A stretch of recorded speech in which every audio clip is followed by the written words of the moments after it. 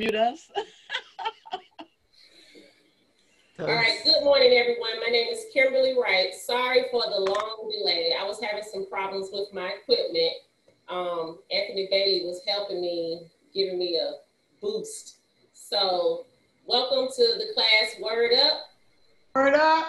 Word up. Poetry, spoken word, and poetry, spoken word, and short stories. Can you hear me still, everyone? Yes. All right, thank Yes. Breaking up a little bit though. Okay, so take it easy. And last week, hmm. our lessons were on the the I wish poem, and if anybody had, what other poem did we have to do?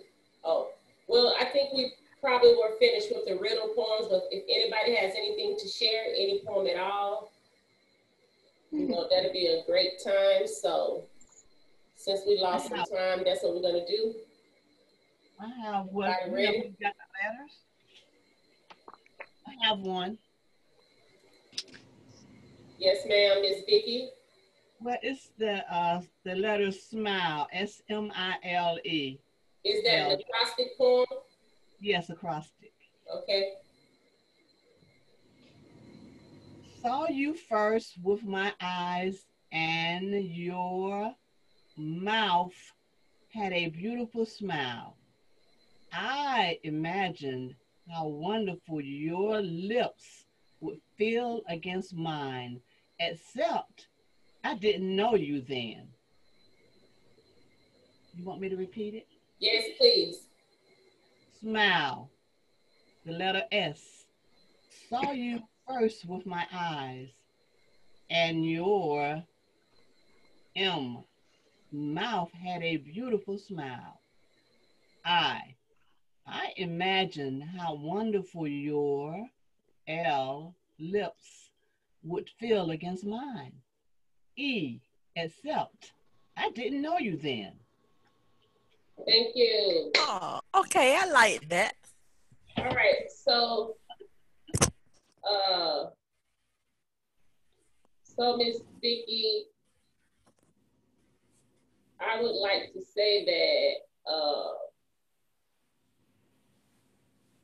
the poem was really, really great. I love the flow of it. However, even for the sake of, I don't know if the first time you recited the letters, but I didn't hear you, but the second time you did, but even for the second that, I'm glad that you did it so people could follow the lines. But however, when, remember everyone, when you are writing an acrostic form, you do not have to recite out the letters. You're supposed to uh, say it in a fashion that the flow would be able, the person would be able to pick up what the next letter is. But however, wonderful job. Someone else want to share a poem today? If you are on line with us or in class, don't forget to unmute yourselves. Anybody have any type of poem you want to share? Don't be. I don't, Mr. my, I have a question. Yes, sir. My uh, virtual class list says something out, making something out of nothing. And what class is this? This is Word Up, the class about poetry, Huh? word. You know, my first class that I met you on. Poetry, spoken Yeah, I know. My, my but the, the, the list they sent me says something about making something out of nothing. That was yesterday. Mm. Yep, ready I thought. My my class, making something out of nothing, is on uh, Tuesdays. So Mm. it's at Oh, okay. ten thirty and oh sorry, ten. Oh, it's it's from ten to uh, ten thirty. So it's a class about recycled crafts art.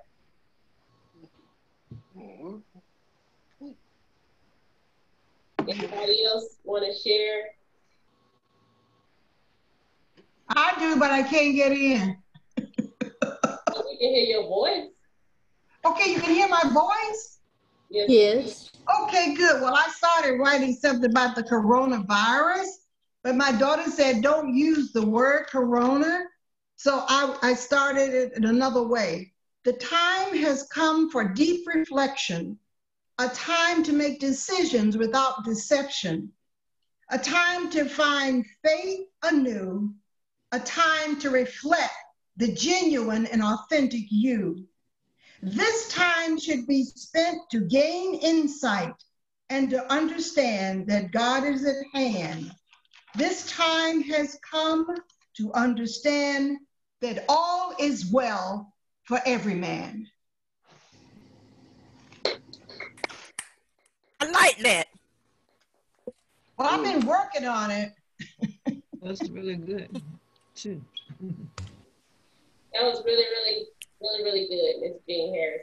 I want you all to keep writing and don't forget to revise, revise, revise. And, you know, has anyone purchased any type of journals or books and started to compile their finished poems that we've written or shared on the um in the class so far? I did. You said you had. I have. I started a, and I got a loose leaf notebook. So when I hate something, I tear it up. well, you're gonna need a lot of notebooks to. You know, I know. Brainstorm and ball up and throw away. That's right. You always see that type of depiction in movies when you see writers. You see a lot of balled up paper on the floor. All right. So if you have any paper and pen, you want to write down our next uh, lesson. And don't forget, we're still having fun with everything what we've done so far.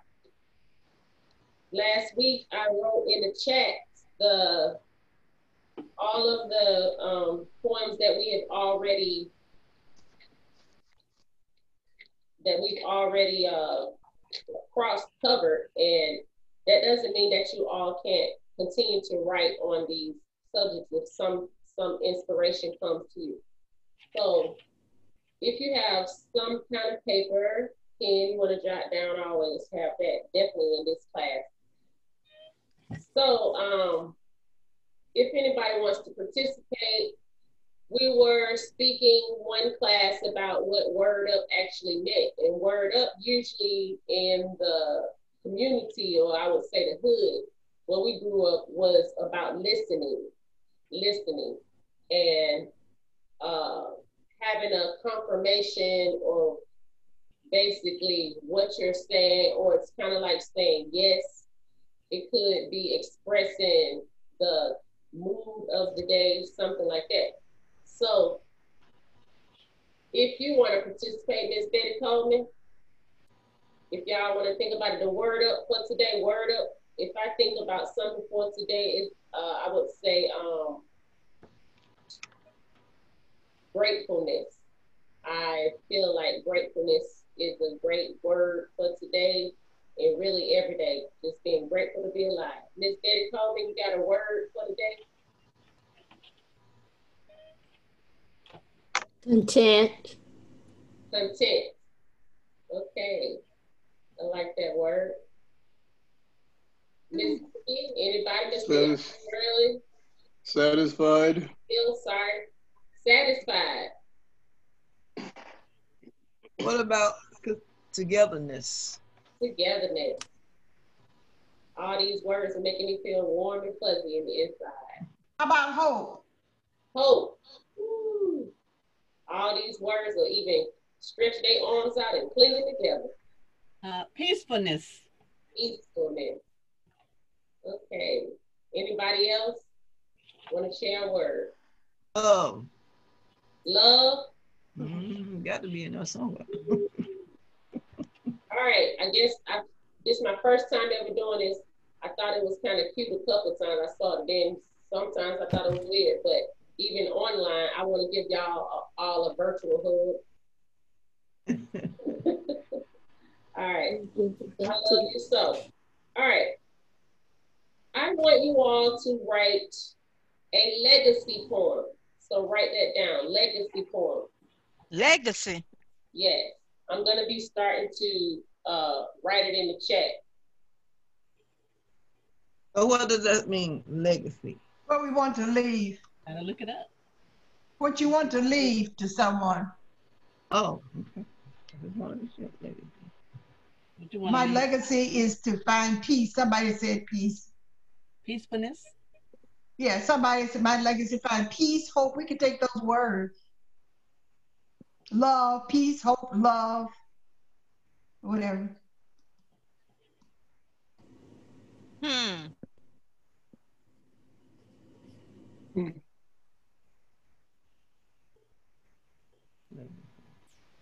All right.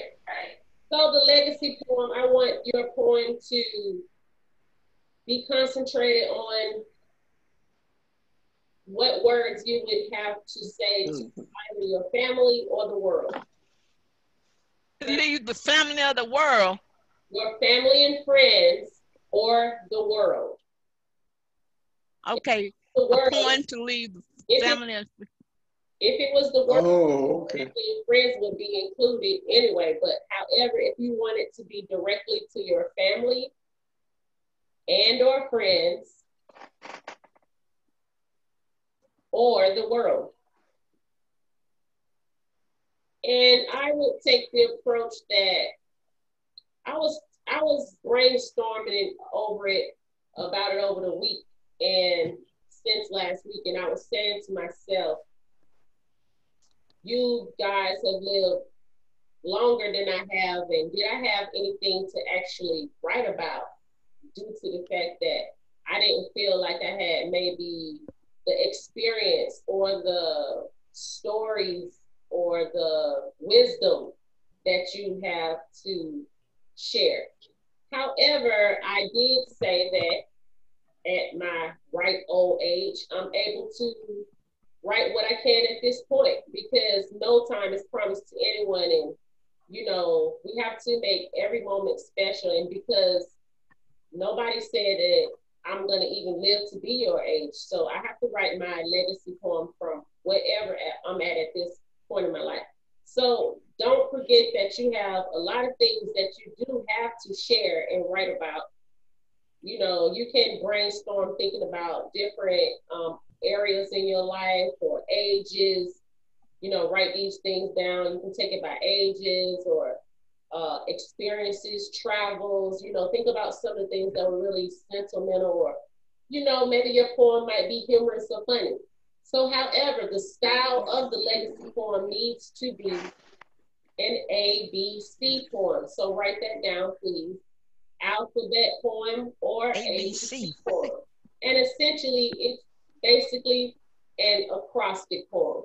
Your ABCs will basically be vertically up and down the page, A, B, C on each line, and you're supposed to write your poem from that um the acrostic uh theme or rhythm. So if there's anybody that doesn't know how to do that, I'm going to share a poem which is an ABC poem, and it is titled "Poem About a Friend" by Marilyn H. White. So I'm going to emphasize the letters so just so that you're able to see how you're able to. Excuse me, Kim. What's this? It's a poem about what? A poem about a friend. Okay. So I'm going to emphasize the alphabets so that you're able to see that I don't have to recite each alphabet like A, B, C. You're supposed to emphasize it at the beginning of each uh, line. Accepts you as you are, believes in you, calls you just to say hi, doesn't give up on you envisions the whole of you, even the unfinished parts. Forgives your mistakes, gives unconditionally, helps you, invites you over, just be with you, keeps you close at heart, loves you for who you are, makes a difference in your life, never judges, offers support, picks you up, quiets your fears, raises your spirits, says nice things about you, tells you the truth when you need to hear it, values you, walks beside you, explains things you don't understand, yells when you won't listen, and zaps you back to reality. So that was That sounds like a friend. it does. so that's a poem about a friend by Mr. H. A true friend. Yes. So, I could write one about an enemy. Girl. but don't It's forget got to you be a legacy type. It's it's a legacy. the poem as a legacy poem, but have it in the ABC form. I just gave you an example, although this person was just writing a poem in the ABC form of, to a friend or about a friend, what a friend, a true friend is. Yeah, it's a poem about a friend. Yes.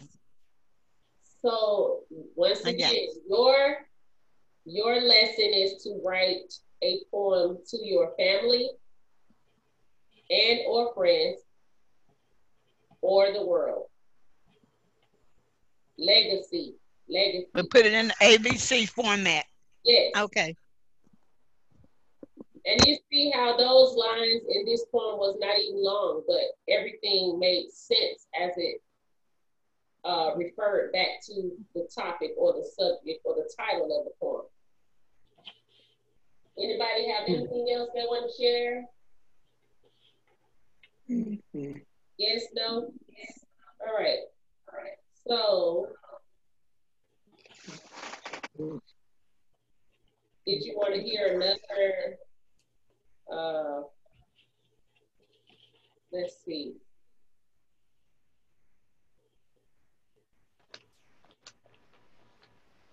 So you want to jot down in your brainstorming on your paper, what you want to do is jot down ideas that you are basically wanting to write about. If you're writing to your family, you need to think, you need to settle your heart and relax and say, what, what is important to me as it pertains to my family? What things are important? Is it togetherness? Some of the attributes that we spoke about today, affirming our words in our word um, when we recited and shared.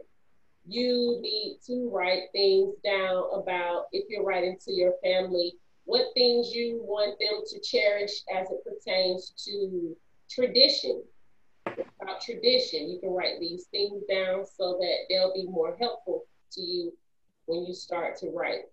Uh, what about some of the food recipes or the actual, the real memories that your family has shared? You can put individualistic things in your piece that people don't know about that would be really original.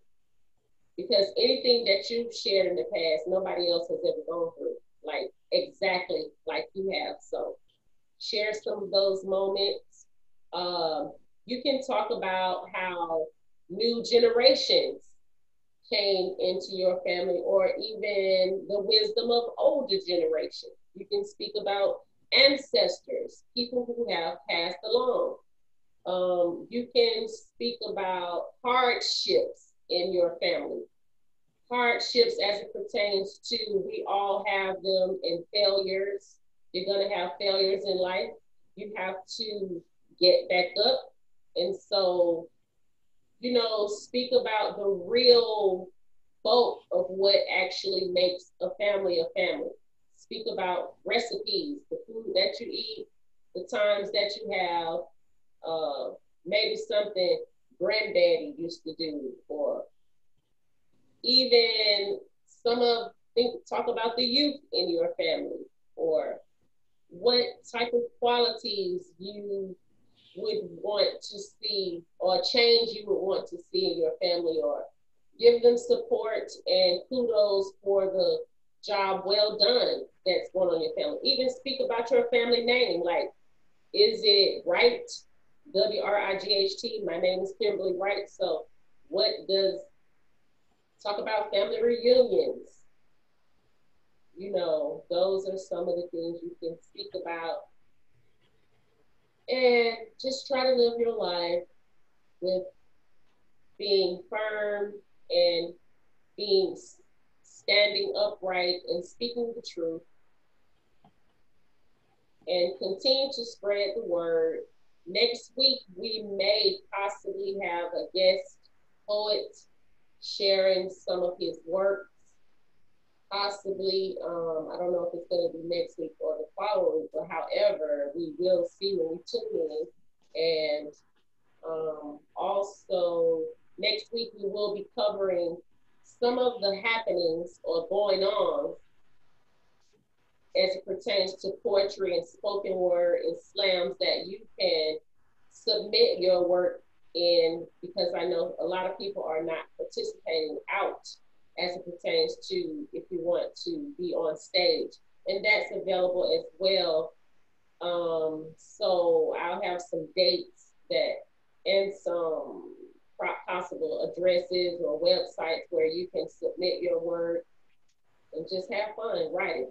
So anybody else want to share any thoughts, any suggestions on some things that you want to uh, class? And thank you for last week, Miss Vicky, speaking about um, the Uncle Remus writings and all that good stuff. We're gonna work on some things in that arena. Anybody have any questions about the lesson next week? Mr. Gurley, Mr. Mill, you're gonna be writing something for us to share. Let me hear your your wise words. I know you got a lot of knowledge and, and experience. Think, help, think about something I can write about. okay. Anything that you feel free about because don't forget, even if you're not feeling you as a writer, you want to feel the energy of what's going on. And if something else comes to you, just go ahead and write about it. We had one lesson called free verse, where free verse, where you write about anything that you want to write about. It was all up to you. So just feel free to do that and share. Anybody else have something that they want to say?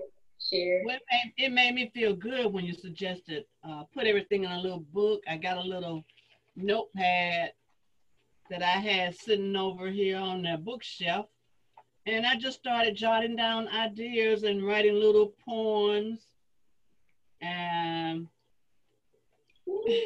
you straight up magic. Yes.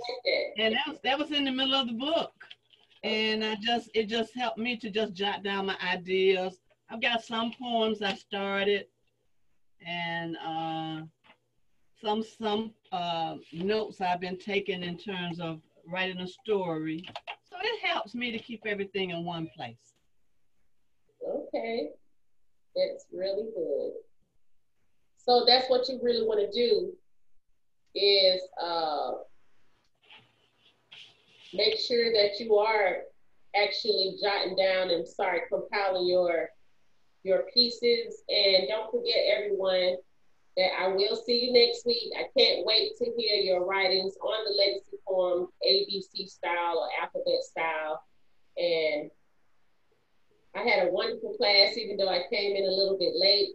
Don't forget, this is Word Up, the class about poetry, short stories, and spoken word. My name is Kimberlie Wright. You all have a wonderful and blessed day. I will see you next week. Peace and love. Bye, Mel. Right. Bye, Sally. Bye, Cam. Thank you. Bye, Jean. Oh, Bye. different.